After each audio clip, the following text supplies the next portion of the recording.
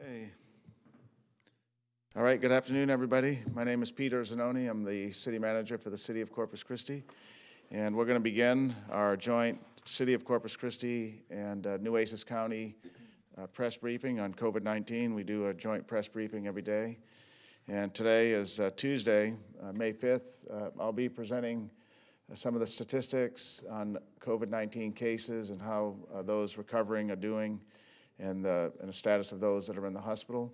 And then Annette Rodriguez, our Director for our Public Health District, uh, will talk about Thursday's drive-through testing uh, location uh, or event that we're going to have. Also give an update on the National Guard and talk to us about some of those uh, safety tips on how to stay healthy and avoid getting the virus and avoid spreading it, uh, to include wearing masks and social distancing. County Judge Barbara Canales will talk about the State of Texas mobile testing site that's in Nueces County. They have been, through the governor's order, uh, with the assistance of the National Guard and other first responders going across the country, uh, state, I mean, and uh, hitting some of those rural areas where testing is not uh, as accessible as in a city setting. And she'll also highlight the governor's orders. The governor had a 2:30 press conference today, Governor Abbott, and we didn't uh, expect this, but he, because he was going to have, I think, one on Friday, but he announced uh, some more relaxing of uh, some of the uh, close, closures that he had in his prior orders, and that includes updates on when uh, salons, beauty beauty shops, uh, gyms, and uh, other facilities can open. And so Judge Canales will hit some of those highlights uh, for the viewing public today, in case you missed the governor's press conference that was at 2:30. And then uh, Mayor Joe McComb is here. He's going to talk about some of the work he's done at the legislative level and with other uh, mayors across the state. He's worked with Senator, State Senator Judith Zaffirini, and he's also continuing to work with a group of big mayors that he's worked with since day one on COVID-19. He'll give us an update on that. Okay, so that's going to be our uh, lineup for today. And so I'll begin by talking about the, the COVID cases uh, since yesterday's briefing. So every day at 4 o'clock, we look back at the past 24 hours and see uh, how are we doing, how many new cases might there be, who's in the hospital, uh, how are those uh, that have had the virus recovering. And so since yesterday at 4 o'clock, we have one additional new uh, case to report, and that's on our graph today. So you can see uh, we have a few more numbers than we had a week ago this time, and we had several zeros last week, but um, looking at the seven-day spread, three, four, went down to one, zero. Yesterday was a, a big uh, number day with six, and today we're back down to one. So that brings our total cases of those that have the virus and those that have recovered to 114 for Nueces County. We still have only three deaths in the county, which is good. Uh, two from the city of Corpus Christi, one from Robstown. The distribution between male and female is pretty evenly distributed. The additional case we had today was a male uh, patient, so 59 males and 55 female persons uh, have had or have coronavirus. We track this by age group as well, and uh, we have nine different age brackets from 0 to 19, and then from 20 to 89 is in a 10-year spread in between each one of those age groups. The majority of the cases are pretty evenly distributed from the age group of 20 to, to 79, and it's pretty roughly distributed 17 to, to 20 or so in each of those categories. There is one person in the 80 to 89, 80, 89 year old bracket. And then testing is important for the community, and we continue to increase testing both at our own facilities, the commercial labs, as well as the state helping out with some of these uh, rural commercial labs that we'll talk to you about this afternoon. There was one today, in fact, and then there'll be one more on Thursday. But today in our labs, we tested three uh, specimens, and the private labs like a LabCorp or Quest, they did 149. So a pretty good total for the community today, 152 tests performed. So to date, we have 3,190 tests that have been done in our area. Okay, now we know that there's that number of 114, but in fact, most persons, 60, just under 60%, 59% have recovered. And we have a slight variation on the, the donut chart that we have been showing. So we know, unfortunately, there were three deaths, and we had been counting those in the, in the, um, in the unrecovered category, but we broke them out separately today after getting some input from some of our media folk yesterday. So three deaths, 45 active cases, but the majority, 66 or 59%, have recovered. So that just puts it into perspective a little bit. We have uh, four persons in the hospital. One person was admitted today, another person was discharged. So it's the same as yesterday in terms of total number in the hospital, but the person that was admitted today was admitted in the ICU unit, intensive care unit. So there's a total of two persons in ICU and four in total in the hospital. Since we've been tracking this, uh, 30 persons have been hospitalized, and that's an increase of one uh, from yesterday. Okay, so that's that chart there. And then when we look at where are these folks, the majority, obviously, because Corpus is the biggest city in the county, are within Corpus Christi. 96 persons of the 114 are in the city of Corpus Christi. There's two in Robstown, seven in Port Aransas, seven in rural Nueces County. And then the, the new one that was added today is in Agua Dulce. Uh, that's up there by Alice, kind of in the outskirts of the county. So that's a new uh, person and new for that Agua Dulce area.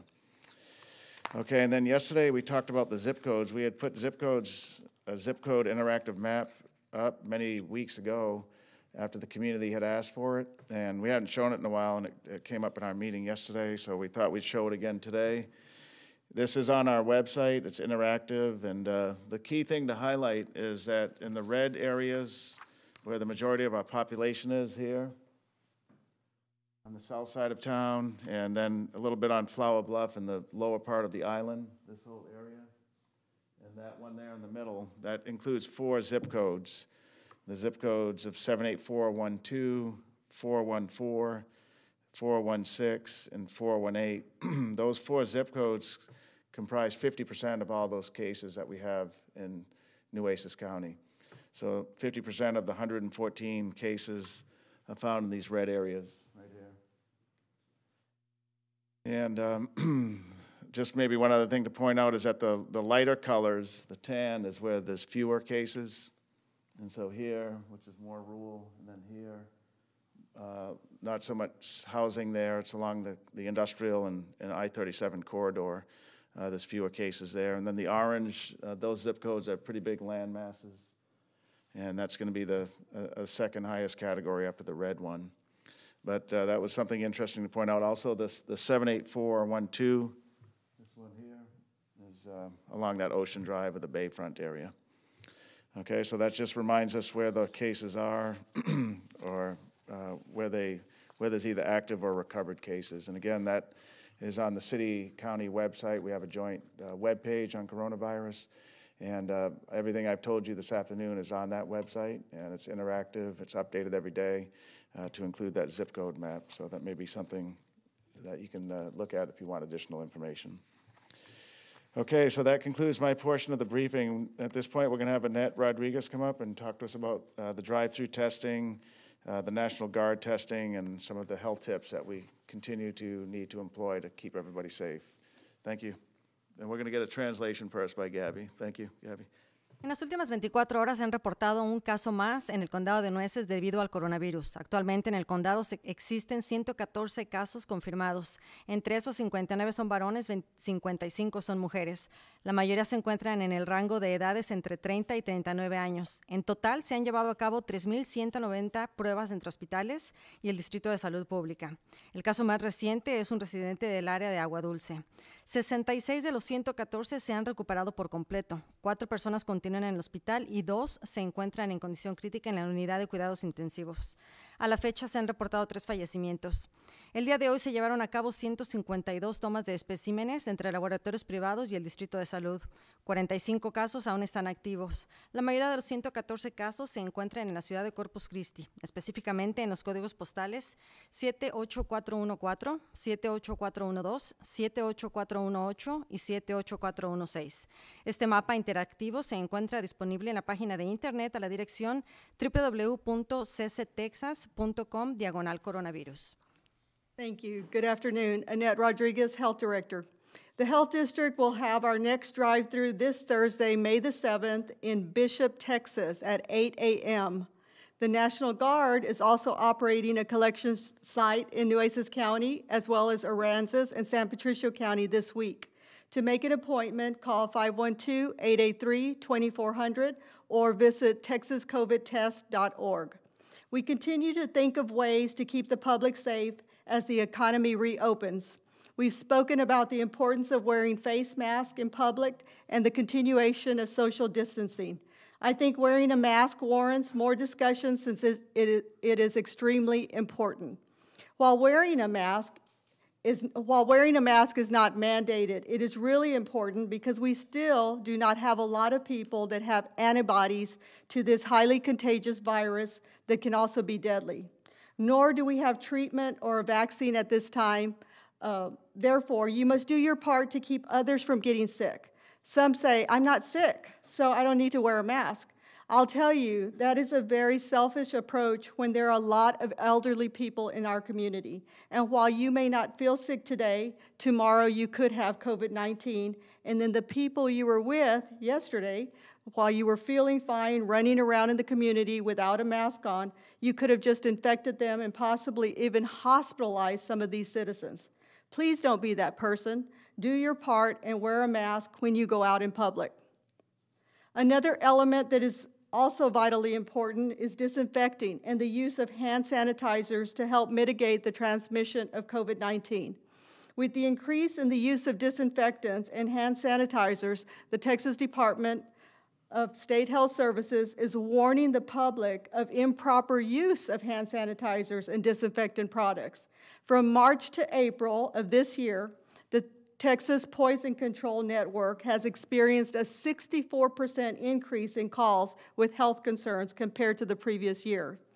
DSHS recommends to the public when using disinfectants and hand sanitizers, always read and follow directions on the label. Also, only use water at room temperature for dilution, unless stated on the label otherwise. Avoid mixing chemical products. Never mix bleach with any other product. Bleach can become a dangerous gas if mixed with other household chemicals such as uh, um, ammonia. So, and we had a lot of that early on where people were using bleach and ammonia at the same time, just trying to disinfect uh, the whole house. And then they were getting chest pains and they were feeling faint, and that's because of that gas that it produces. Use hand sanitizers only when soap and water are not available. So the best method is still to wash your hands with soap and water for 20 seconds. We advise that each business, workplace, and household come up with a plan and how they are going to safely disinfect frequently touched surfaces.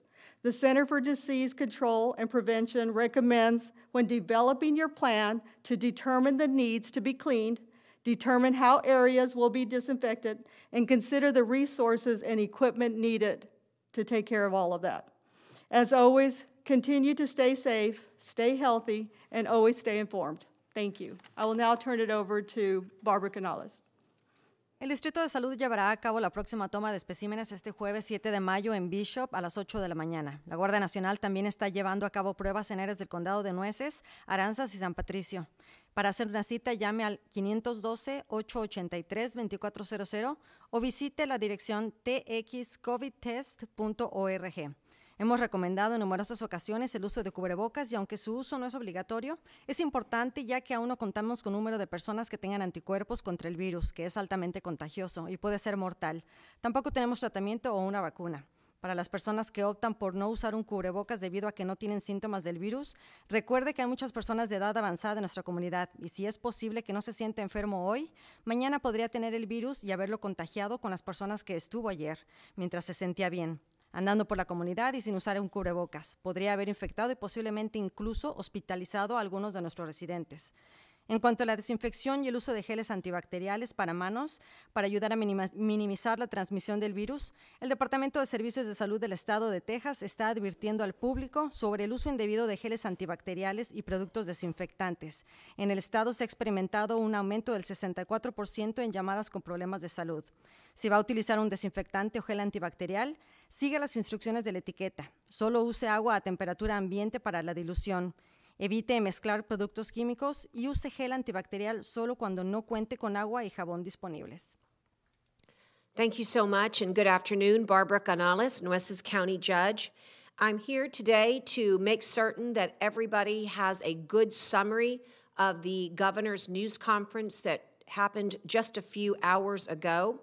And I believe that you're going to find that the news, I hope, is welcome for some of you, and it may also concern others of you. And I would like to make certain that we can both uh, create a balance of both the good news and the news that might come of some concern to others. But I will tell you, listening to Director Rodriguez, I think all of the advice that she has given today absolutely needs to be taken to heart. And so let us begin in understanding where we're headed uh, after the governor's news conference. So, first, this was the first briefing since the governor announced phase one of reopening Texas, which basically focused on restaurant, restaurants and retailers working at that 25% capacity. The governor has announced that uh, effective this Friday, May 8th, hair and nail salons, barbers, and uh, tanning facilities can reopen to customers, provided, and this is the big one, they maintain social distancing between customer stations and those in waiting areas are either able to maintain the six foot distance or they will have to wait outside. Stylists and customers are strongly encouraged to wear masks, and you'll remember in my last order, we highly recommend masks, particularly where social distancing is not possible. So, this is a good example of where you should wear masks. Gyms and other workout facilities will be allowed to open Monday, May 18th. Again, they have a restriction, and that is that they operate under 25% capacities and that showers and locker rooms remain closed. Equipment must be disinfected between each use, and customers are advised to wear gloves to cover their hands and fingers.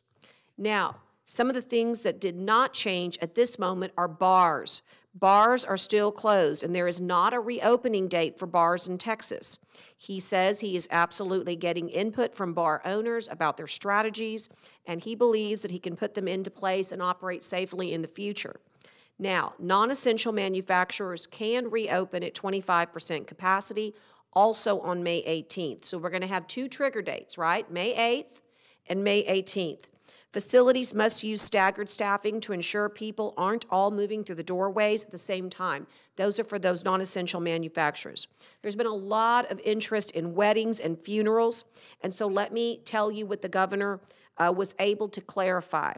Uh, weddings, funerals, and memorials can occur in Texas so long as participants observe social distancing, such as alternating rows and maintaining six feet between groups. So, in the churches, we're going to ask that there is social distancing, and of course, there's all kinds of creative and innovative ways to address all of these issues. But he does say that weddings and memorials and funerals can transpire. So I do want you to know those are the highlights. Uh, I'd like to repeat something that Director Rodriguez talked about, and that is this incredible testing that we've got going on. According to the governor, Texas tested 18,000 people on Tuesday alone. We were part of that success. And I want to reiterate that this testing that's going to happen on Thursday, that I don't believe it's too late, Annette, to go ahead and call the number for Thursday testing. And so please make certain that you can either um, register online or you can call the number which I believe is available to us. The, it will be at 9 a.m. to 5 p.m. One of the things that I'd like to reiterate is that we really look to make sure that um, if you're part of that vulnerable population that is over 65, if you're a member of the first response team, first responders of any kind, healthcare workers, you are a perfect candidate to have this testing done. If you're experiencing any symptom, you're a perfect candidate. There's a laundry list of symptoms, and you'd only have to have one in order to meet that criteria. So, this testing, this statewide testing that's going on, is happening in your backyard and will continue to do so when the guard leaves. I want you to know that I'm grateful to the health department for being so responsive to the to what we're hearing at the county, which is that there were vulnerable populations that really wanted to get tested, but they were not able to maneuver and, and drive themselves all the way to Corpus Christi or to the fairgrounds. So we move to them. This is the response that you expect, and if there are other areas that also need a similar response, I'm confident that we can also address those needs as well. So by going to Bishop, we do we do leave the safety net of our perfect spot memorial. I want you to know that it's with great pride when the when the captain of the guard says this is the best operation he's seen and he's been all over. It makes me feel great that we have an operation that is second to none in Texas. So we're going to continue with that first class operation after the guard leaves. And if we need the guard to come back, we will make that request. I also want you to know that you've been hearing a lot in the news about uh, the drug remdesivir. That drug uh, has been requested by our CBRAC um, community and has been utilized uh, all over the country to help in the treatment of COVID 19. Anytime our local health authority needs a resource, that's what the city and county are here to do, along with their partner, CBRAC, the Regional Advisory Council, who focuses on trauma and making sure our hospitals have the resources they need. Once again, we make a transition. I, I just had to ask somebody what day it was. I didn't even realize it was Cinco de, uh, de Mayo, the 5th of, uh, of May. I suppose that's probably a testament to the fact that every day feels the same for me. I feel that we are doing a very strong response all over the state to help Texas in its second disaster, that is the economic disaster. But I'm also very mindful that uh, we are not by any means um, in a situation where we can forget all that we've learned. And so this now presents another challenge. I'm not even sensing that we had enough transition to understand what it feels like to be operating at 25% in retails and restaurants. But you know what? We'll rise to the challenge. Would I've liked more time? Perhaps. Transitions are always hard, but we will rise to this challenge. And as we open more and more businesses, it will allow for our economy to recover, but it's going to require tremendous responsibility. I want to avail all business owners that find themselves in the new May 8th opening or in the May 18th opening to call our hotline if they need help, if they need guidance. We've created an entire operation of advisors that help have helped us with our churches when they reopened, helped us with our restaurants when they reopened, helped us with our retailers, and we can help you too. So please let us know if we can be helpful at 414-6000 or county.attorney at nuecesco.com. And with that, I will leave you. I just need you to keep practicing all of these good measures. I do not want to see us get into this great place where we're reopening businesses and we, we lose the gains that we have uh, locked in. So, at any rate, um, my hope is, is that if you have any questions, I will be around to answer them. And we look forward to um, this new reopening and our opportunity to work with you and make sure that your businesses are, um, are working. Thank you. Quiero darles un resumen de la conferencia que dio el gobernador hace unas horas. Este viernes entra en vigor la apertura de salones de belleza, salones de bronceado y de cuidado de, de uñas. Podrán reabrir, aunque con limitación y practicando distanciamiento social. Los gimnasios podrán reabrir a un 25% de su capacidad el 18 de mayo, aunque las regaderas se mantendrán cerradas. De acuerdo a bodas y funerales, también tendrán que practicar el distanciamiento social. A 18 mil personas se les tomó una prueba por parte de la Guardia Nacional durante los últimos días en el estado de Texas. Si usted forma parte de la población vulnerable, es importante que llame si cuenta, aunque sea con un solo síntoma. Haga una cita para que le hagan la prueba. El número a llamar es el 512-883-2400. Este día jueves 7 de mayo vamos a tener una unidad móvil en Bishop a las 8 de la mañana. Llame al 826-7200 para hacer una cita. También quiero dar, decirle a los dueños de negocios que podrán abrir el 8 o 18 de mayo que nos llamen al número 414-6000 si tienen dudas sobre las reglas a seguir antes de que reabran sus negocios.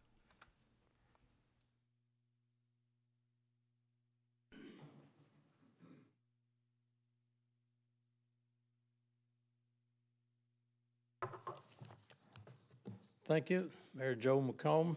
Uh, Judge Canales, I think, uh, gave an excellent uh, report on what the governor's uh, comments were today, so I won't go into a lot of detail on that.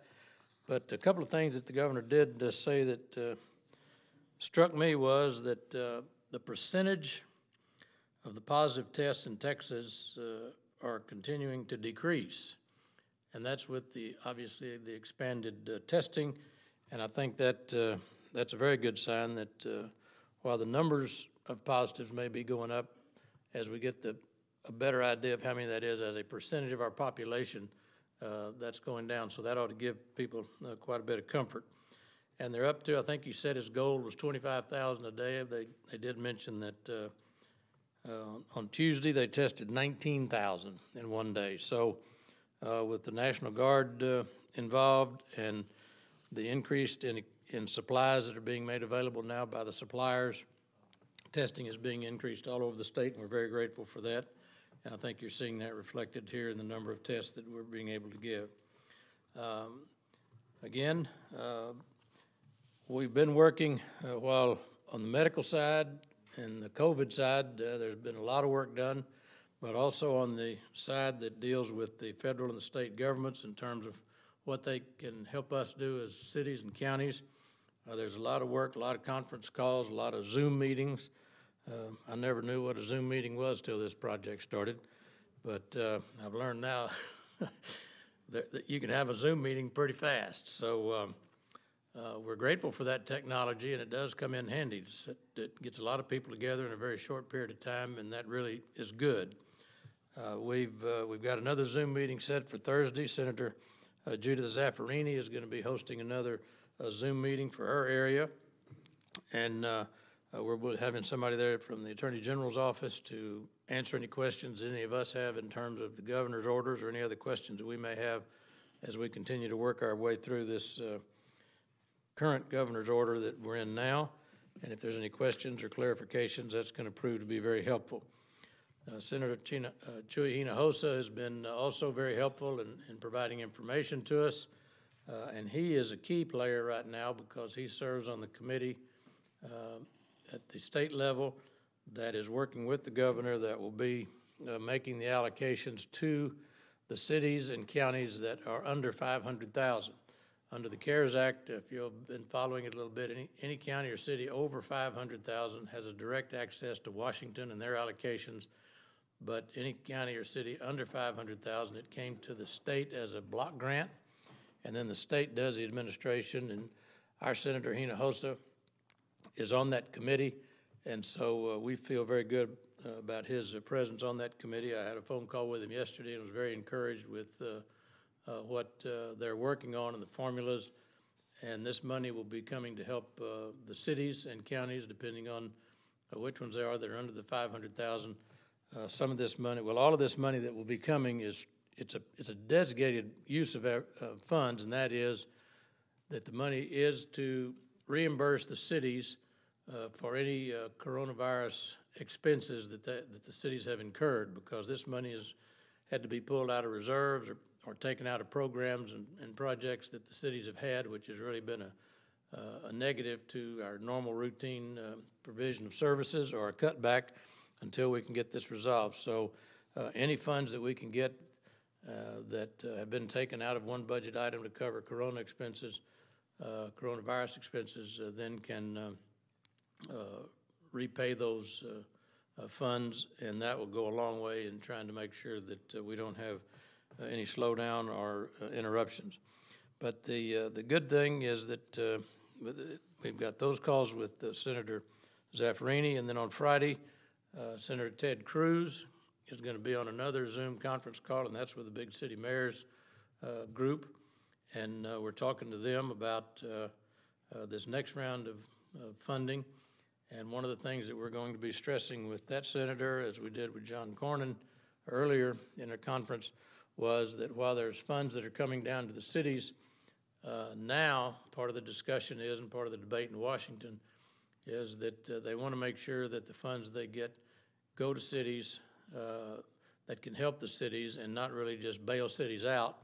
But uh, what uh, we're going to encourage is that we would like as much flexibility in those funds as possible to help us offset some of the dramatic loss of revenue uh, that we had budgeted for this year. For instance, Corpus Christi, our hotel motel taxes have been severely reduced, as well as our sales tax. And that, uh, I think the city manager forecasts somewhere between uh, nine and fourteen million dollars um, I think the early projection. And um, we'll be getting those numbers in pretty quick here now that uh, that we're in a new month to kind of see what the impact really is going to be. So we're going to try to get as much flexibility to help us offset some of those lost revenues uh, as a result of the, uh, the virus. But to me, uh, we need to take a lot of pride, and I think the judge hit on this, and I think this is something that we can take a lot of pride in. While we get a lot of calls, I do, uh, and emails, uh, people saying, you know, I see people everywhere and they're not wearing their masks. Well, the public needs to understand that, there's a lot of push to get people to wear their masks, but they are not required. And so, you know, we, we can't go out and force people to wear a mask. They're not required. We highly encourage it, and uh, we, we emphasize it in every meeting that I've been in. Uh, more than one person does that, but they're not required. And so um, uh, we appreciate your calling and asking and expressing your concern about it, but they are not required. But uh, we do emphasize it and encourage it because we think it's a good thing. But the, the, the real sign, I think, to the city and, and the county in terms of what we're doing is that if you take just the numbers that we've done in our city based on today's numbers of 114 cases and 3,191 tests, that gives us a percentage of 3.5 percent, uh, which is excellent in terms of numbers compared to the rest of the country. I've heard them say if we can, if people can get that under 10 percent, they're going to be happy. Well, we're at 3.5 percent, so uh, congratulations, Corpus Christi, Nueces County. We'd like to get that down to 1 percent. Actually, we'd like to get it to 0 percent. And if you will, even though you're not mandated to, if you would put that mask on, you may not think it helps, but it does. It helps psychologically as well as it could help you uh, keep you from getting it or from spreading it. So show a little kindness to your neighbors. Uh, we're living in a different world right now, and uh, you know some of that old-fashioned kindness. And again, uh, remember what your mother and grandmother taught you: uh, wash your hands. If you're healthy, stay away from sick people, and if you're sick, stay away from healthy people. It's pretty simple. It doesn't take a rocket scientist to understand that. We've been taught that from our grandmothers and our mothers. And so uh, that seems to be a winning formula. And for citizens that practice that, uh, it's paying off. And I think Corpus Christi has done remarkable well, remarkably well uh, in uh, paying attention to that. So uh, keep up the good work. We're not out of the woods yet, but uh, we're making great strides, and we're looking forward to. Uh, I know some were very excited about to hear that uh, barbershops and beauticians could open up. I'm, I'm gonna find out if, how much this additional weight that I've gained uh, is attributable to the hair that I've gained. I'm gonna go get my hair cut Friday when they open, and I hope it amounts to a whole lot of weight, but I'm not sure I'm gonna do it. But uh, anyway, we're easing back in. I think the public's excited about it, uh, but at the same time, they need to be uh, mindful and uh, wear those masks, think about other people, and think, you know, would I want somebody exposing my wife or daughter or son or husband? Um, you know, I wouldn't want them to do that, and I don't want to do it to them. So, uh, as it says, you know, be ye kind one to another. Uh, do unto others as you would have them do unto you. So, pulling together, all rowing the boat in the same direction, we're going to get out of this. And the more, the harder we row and the harder we pull, the quicker we're going to get across the finish line. So, thank you very much. And I call Peter back up to close it out and uh, answer any questions that you may have. Un par de cosas que me llamaron la atención sobre la información que dio el gobernador es que las cifras de las pruebas han aumentado y los resultados positivos al virus han disminuido. En cuanto a los gobiernos federales y estatales, hemos tenido varias conferencias este miércoles. Vamos a tener juntas para trabajar con representantes estatales, entre ellos Judith Saffirini y Chuy Hinojosa. Esta es nuestra oportunidad para evaluar diferentes cuestiones, incluidas la forma en que se distribuirán fondos a ciudades con poblaciones menores al millón de personas.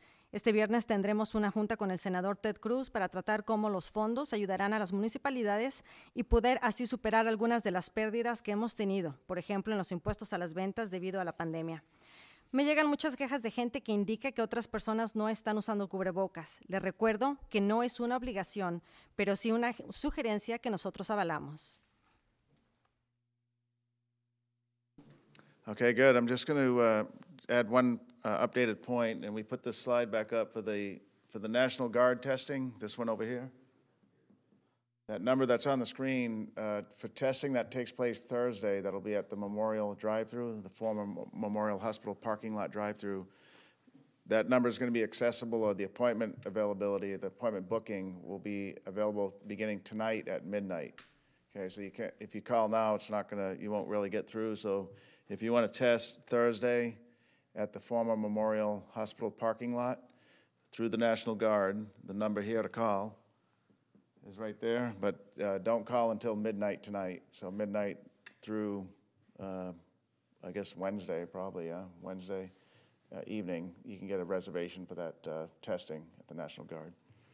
Okay, so that was a lot of information we covered for you this afternoon, includes uh, some of the updates in the governor's uh, orders.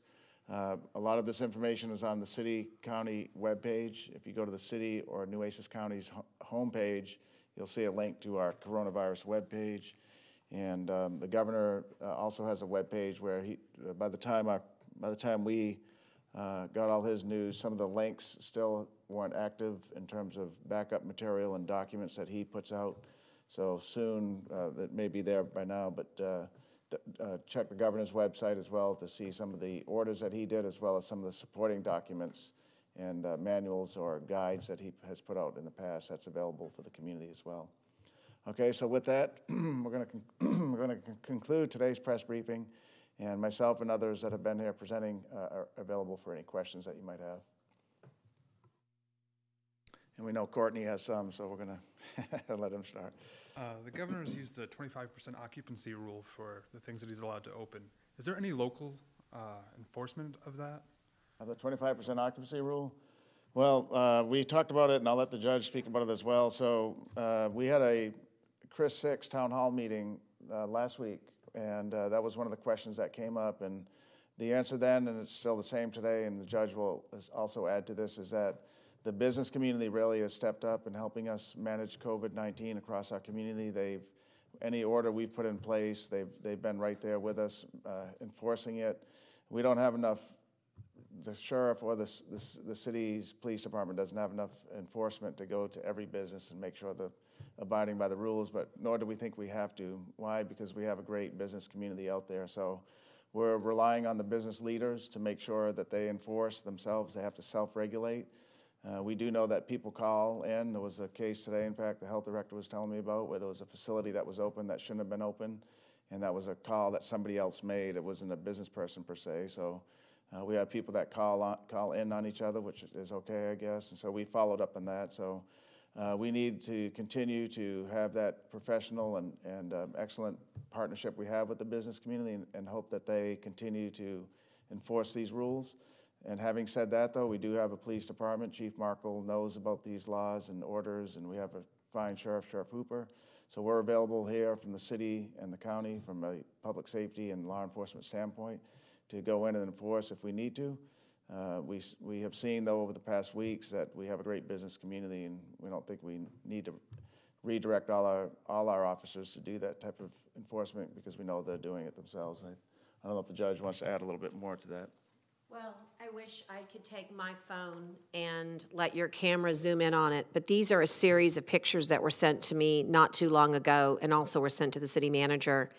And it shows basically a tremendous amount of trash on the beaches that basically because the trash cans are overloaded, and that's because the beaches are overloaded. There's also some display here of clearly not social distancing on Bob Hall Pier, as well as, um, you know, a, not a pretty picture of too many people not social distancing on the beach. And this is a very big weekend. It's it's a very special weekend for families. And as a mother myself, I'm looking forward to the weekend with my family.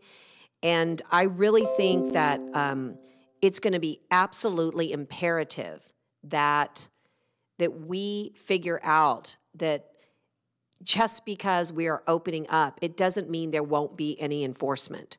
We, we are working on ways that we can message more appropriately so that we can keep enforcing and educating. But when we get these pictures, I need citizens to know that I care. Keep sending them to me because I react to them. And I want you to know the trash has already been taken care of because um, not only because Scott Cross is texting me, but because I know that when I send it to him at Coastal Parks, I know they are going to get, to, I, know they're going to address these matters. But we are experiencing an unprecedented amount of travel. I believe all our short term rentals are booked, and there is uh, 80 miles of beach, and we need to use it. And we've got to figure out a way to do this right. One of the things that the General Land Office sent to us when they sent guidance about keeping our beaches open was making sure that we had the authority to police areas where there's absolutely a complete wanton disregard for the spirit of this order. And I want you to know that when I get these pictures, I agree with Peter. I think the overwhelming majority of people are doing it right. But we have a problem on our beaches and we need everybody's help. It starts with you at home. If you care enough to listen to this press briefing, it's because you care about the health and welfare of you and your family. Please, let's make sure that we can do this together. What is the enforcement, Courtney? It starts with us. It starts with us. We're going to have to tell our friends and our kids and our parents and whoever else is going to go out there to the beach or any other park where they can congregate hey, Sounds like a great idea. Sounds like a lot of fun. But we're going to have to figure out a place where we can be social distance from everybody else.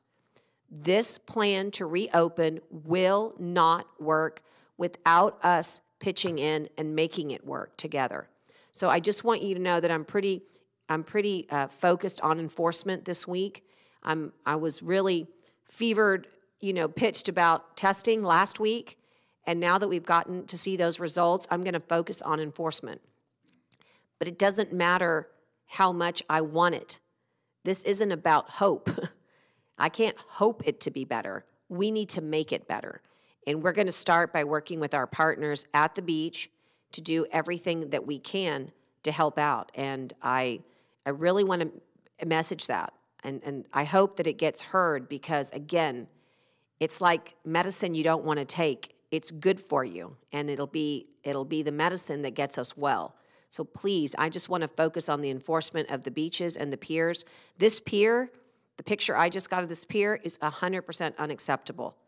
And there is no doubt that while there is a right to be on those beaches the county judge can control the occupancy of those premises and can control the movement of people.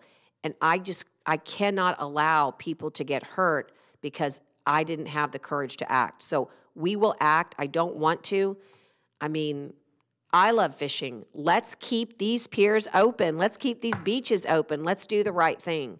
And that's where the enforcement starts. It starts with my firm, you know, um, discussion of this matter.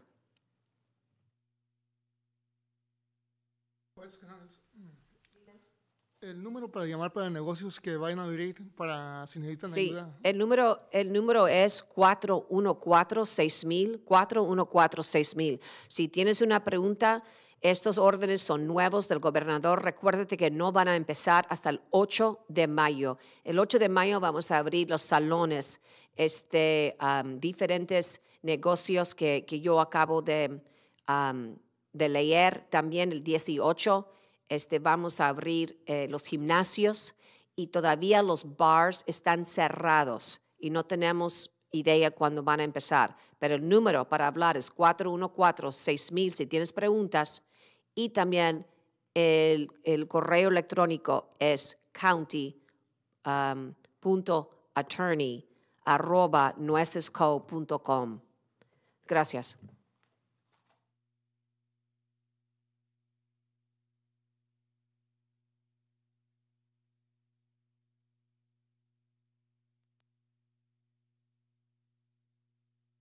Okay, do we have any other questions for today? Okay, very good. That'll conclude our press briefing for today. So today's Tuesday. Tomorrow it'll be Annette uh, Rodriguez, our health director, and myself will have probably a shorter briefing, uh, just brief you on the statistics and some of the updates. And then uh, uh County Judge Barbara Canales and Mayor Joe McComb will be back with us on Thursday. And then Friday, by the way, we will have um, an update of our UT, um, our uh, Texas A&M Corpus Christi um, modeling project. We haven't talked to the professors yet this week, but we will be probably by tomorrow and Thursday to see how that's coming along. We'll get an update on the, that cell phone data uh, distancing that they've really been honing in on. And uh, we're hoping we don't see a correlation of number of increases in cases, but nonetheless, we'll have that update on Friday and uh, other stuff that they have been tracking for us. So that's Friday. So we'll see you tomorrow. Be safe. Thank you.